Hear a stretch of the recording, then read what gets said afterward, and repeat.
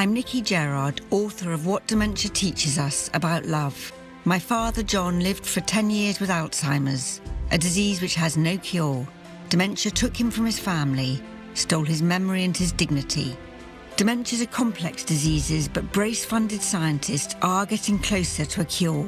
Search Brace Dementia to donate and help bring about the breakthrough we need. Brace. Together, we will defeat dementia.